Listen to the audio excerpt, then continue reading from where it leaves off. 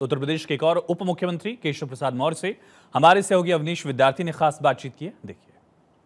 आम बजट पेश हो गया है और उस पर प्रतिक्रिया देने के लिए हमारे साथ उत्तर प्रदेश के उप मुख्यमंत्री केशव प्रसाद मौर्य जी हैं।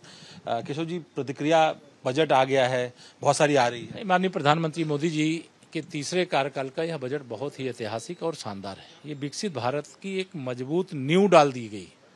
तीसरी अर्थव्यवस्था भारत बने या जो लक्ष्य था उसको पूरा करने का वाला यह आज का बजट है। ये गरीबों के लिए समर्पित है, जहाँ पाँच साल तक प्रधानमंत्री गरीब कल्याण अन्न योजना का राशन मिलेगा।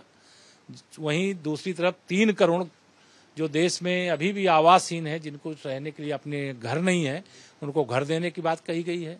जो कैंसर से पीड़ित रोगी हैं, उनको एक बड़ी राहत प्रदान करने का काम किया गया है। चाहे वो भारत की सीमाओं की सुरक्षा का सवाल हो और चाहे देश के को विकास के पथ पर आगे ले जाने का विषय हो सभी दृष्टि से यह बजट बहुत शानदार है जानदार है। माननीय प्रधानमंत्री जी को आदरणीय वित्त मंत्री जी को और भारत सरकार के सभी माननीय मंत्रीगणों को इसके लिए बधाई।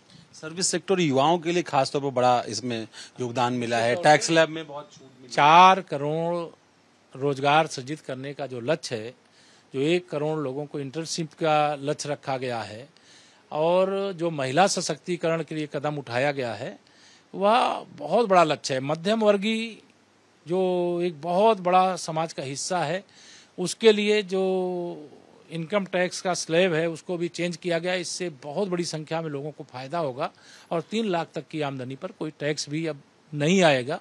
यह आज वित्त मंत्री जी ने घोषणा की है। मैं उसका स्वागत करता हूँ। केशव प्रसाद मौर्य, उत्तर प्रदेश के उप मुख्यमंत्री जी का कहना था कि न सिर्फ़ उत्तर भारत के लिए, बल्कि पूर्वोत्तर पश्चिम भारत, तमाम समूचे देश के लिए, किसानों के लिए, युवाओं के लिए, महिलाओं के लिए सरकार ने अपने रास्ते विकास के खोल दिए हैं, खजाना खोल दिया है और विकास के नए आयाम जो है वो भारत इन बजट के माध्यम से पहुंचेगा वीडियो जर्नलिस्ट रोशन खड़वनी विद्यार्थी आर ट्वेंटी लखनऊ।